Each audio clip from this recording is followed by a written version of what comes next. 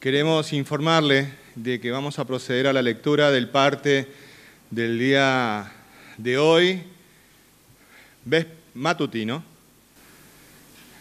Informarles que debemos concurrir a una reunión inmediatamente, por lo tanto vamos a posponer el ciclo de preguntas para una nueva conferencia de prensa a las 18.30 horas, en la que vamos a profundizar el tema que tanto interés todos tienen, que es el, son los números respectivos de los ingresos en el marco de la medida cautelar.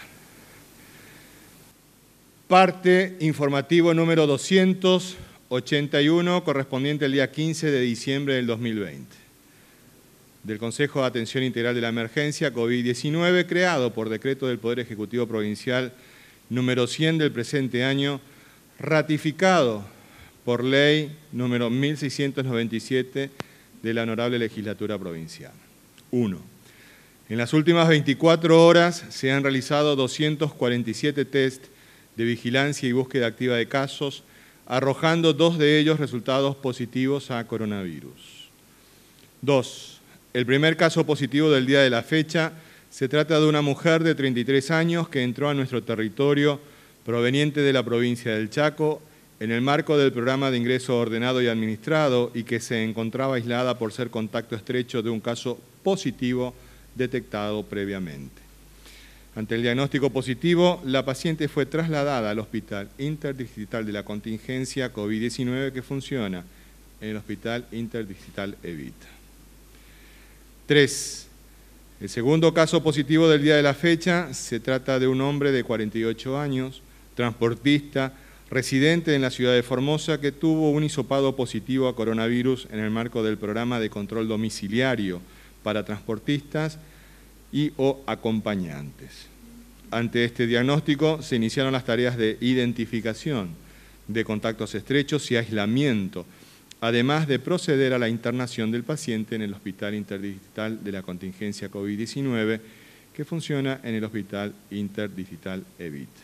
4 con respecto a los tres gendarmes que dieron positivo a coronavirus reportados en el día de ayer y que optaron por retornar a la provincia de Córdoba, informamos que uno de ellos decidió finalmente regresar a nuestro territorio cumpliendo todos los protocolos vigentes en este caso de internación en el Hospital Interdigital de la Contingencia COVID-19 que funciona en el Hospital Interdigital Evita.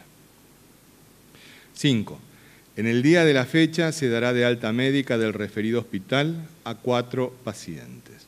Una niña de 3 años, un niño de 4, una mujer de 37 años y un hombre de 32 años, quienes habiendo cumplido el periodo clínico de la infección han obtenido dos resultados negativos consecutivos de PCR, no constituyendo riesgo alguno para sus familiares ni para la comunidad. 6. Los datos acumulados de la provincia al día de hoy son los siguientes. Total de casos diagnosticados, 268. Total de casos recuperados, 204.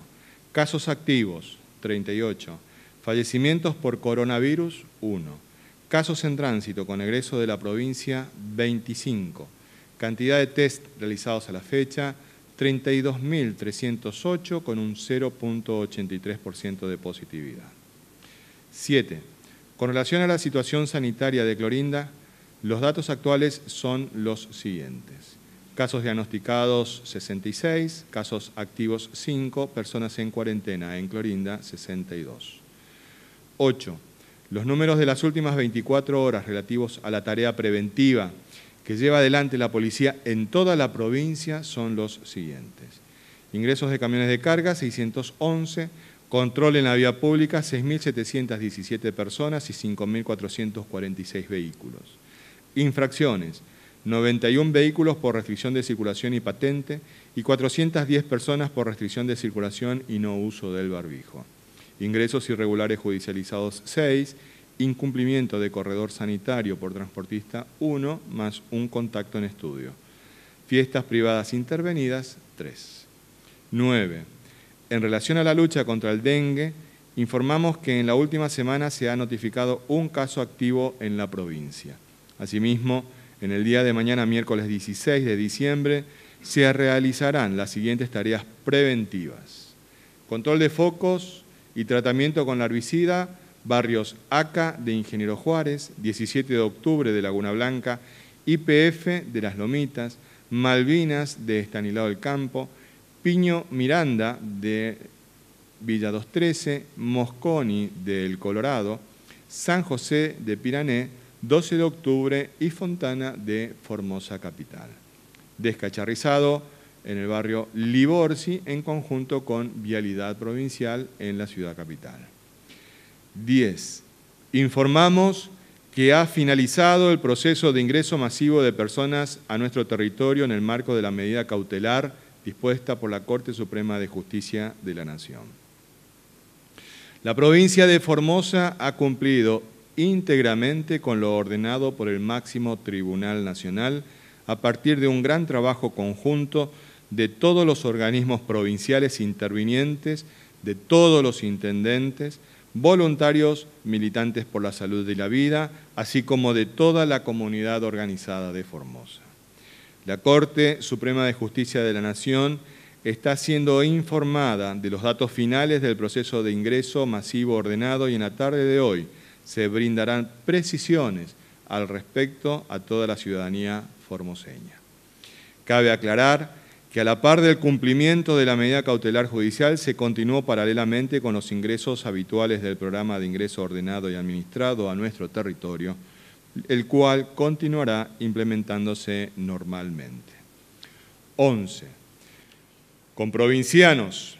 En la mañana de hoy, el gobernador de la provincia, doctor Gildo Infram, recibió al ministro de Obras Públicas de la Nación, doctor Gabriel Catopodis, y a su comitiva con el fin de firmar importantes acuerdos para continuar desarrollando obras de infraestructura estratégicas en materia vial, hídrica y de saneamiento en nuestro territorio.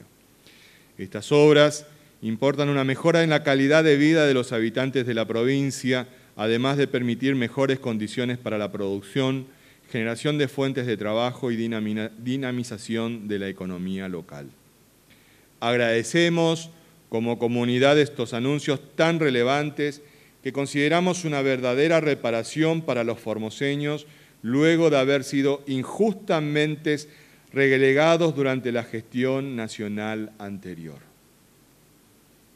El acompañamiento del Gobierno Nacional del doctor Alberto Fernández nos permitirá avanzar con mayor velocidad en la transformación planificada en el modelo formoseño y que juntos venimos realizando en cada rincón de nuestra provincia. No bajemos los brazos, más unidos que nunca, más firmes que nunca. En Formosa no se rinde nadie.